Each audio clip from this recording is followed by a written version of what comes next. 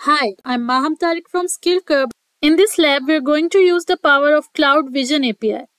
We'll call the API from a cloud function that will be triggered whenever images are uploaded to Google Cloud Storage Bucket. Our cloud function will use the API to process the uploaded images, score them for various unsafe qualities, and flag them if necessary. The flagged and approved images will be moved to their respective buckets whenever a new upload is detected in the uploads bucket. So let's get started. Log into Google Cloud account and open Google Cloud Console. Enable Cloud Vision API and create three cloud storage buckets. Then create and run the cloud function accessing pre-trained Cloud Vision API. Then we'll upload the images that we want to detect and finally observe the working of our cloud function.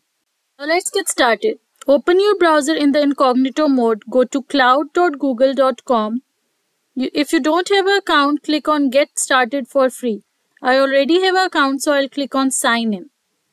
The first step is to enable the API. Let's go to APIs and Services in the GCP menu, then click Enable APIs and Services. Search for Vision and then select the Cloud Vision API. Click Enable if you get the option here. On my screen it says Manage because I've already enabled this API. So now we need to create three cloud storage buckets. Let's go to Cloud Storage in the GCP menu and click Create Bucket. The first bucket is going to be for uploads. I am going to call this bucket SCML uploads. You can give it any unique name and end with the suffix uploads. Pick a region and then click create. Go back and we'll create another bucket. This time for approved images. If our function checks the image and doesn't find anything to be concerned about, it will copy the image into this bucket. I'm going to call this SCML approved bucket. Finally, we'll create a bucket for flagged images. I'll call this one SCML flagged. We will access the API with the help of a cloud function. We'll see how cloud functions are often used to piece together various services.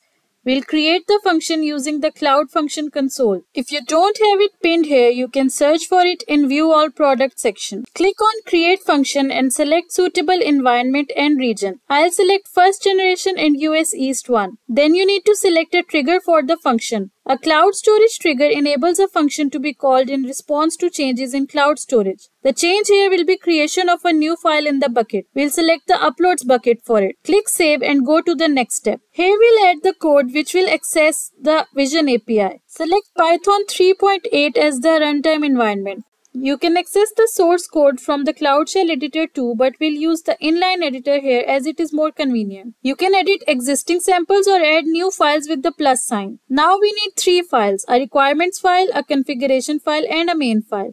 The requirement files specifies what libraries we need. We need just two libraries for this function, storage and vision APIs. The config.json file is needed to separate some configuration from our actual application code. In this file, we'll define the flag bucket and approve bucket names. Now let's discuss the main script of our application. You can pause the video when you need to. To start with, we import the necessary libraries and open our config file. Then we create two new GCP clients, one to access Google cloud storage and one to access Vision API. Next, we start to create our check images function. When the function is triggered by cloud storage, it will receive a payload that contains information about the file that has been just uploaded.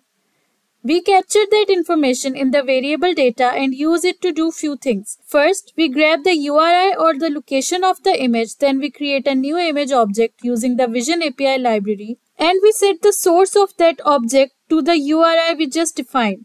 Next, we query the Cloud Vision API. We do this by calling the safe search detection method on the vision client that we already created and we capture the output of that into a variable called response. From that response, we take the safe search annotation and store it in a variable called safe.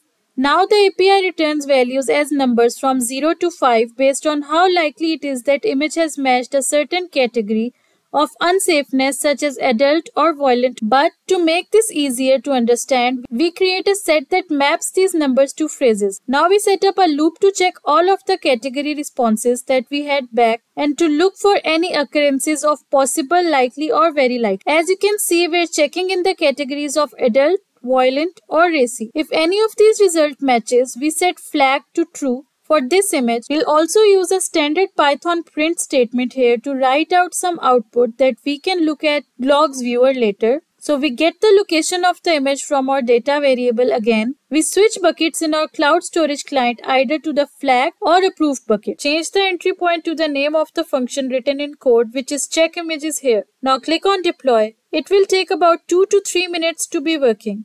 The function has been successfully deployed. So now let's go back to our cloud storage bucket to test it. We will check two images in this lab. The first image that we are going to test is a picture of a panda. As this picture has nothing wrong with it, it should go into the approved bucket when we click on refresh. And there it goes. Let's go back to the approved bucket and check if it's there. It's time to upload the second image. It's the picture of an injured rugby player. As you can see, it disappeared right after uploading it. Let's see if it made it into the flag bucket. We're going to view this picture so you should look away now if you choose not to see the picture. This image was somewhat inappropriate so it moved into the flag bucket. You can look again now. So how did Cloud Vision API help us to flag this image?